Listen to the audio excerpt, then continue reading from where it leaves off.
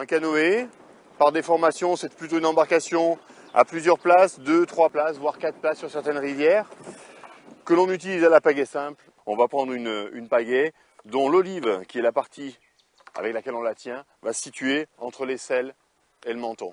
Mais aussi à la pagaie double, on va souvent vers un choix pagaie double au moins à l'arrière dans le bateau.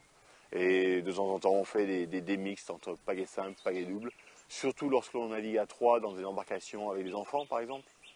Euh, là, à ce moment-là, vous avez euh, intérêt à mettre deux pagaies simples devant pour ne pas vous emmêler euh, si vous êtes trois pagayeurs dans l'embarcation. Allez, un petit tour de canoë maintenant. Alors, c'est une embarcation un petit peu plus lourde. Il faut bien prendre la peine de la mettre à l'eau avant de monter à l'intérieur.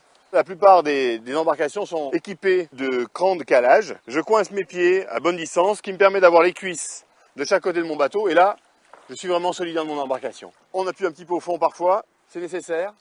Et c'est parti. Alors l'aspect technique en canoë est important si vous l'utilisez en pagaie simple. En pagaie double, c'est tout à fait comme un kayak. Par contre, en pagaie simple, l'idéal est de ne pas changer de côté pour naviguer.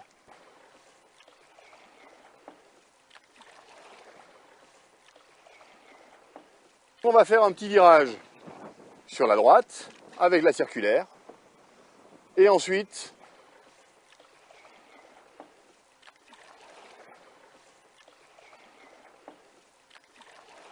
Voilà, et on va tourner sur la gauche avec notre gouvernail. N'oublions jamais qu'un bateau qui n'a pas de vitesse, c'est un bateau qui ne tourne pas. Donc là, on est parti en approche sur notre petit courant.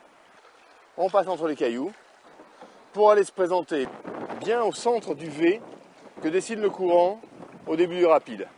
Donc là, on a un petit virage sur la droite, on va se placer légèrement à droite du courant. Voilà.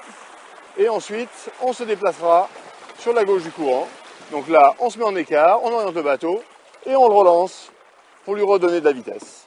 Pour carrément passer à gauche de ce petit rocher pour pouvoir rejoindre la berge. Voilà, ça dure quelques secondes, on est attentif et ça marche tout seul.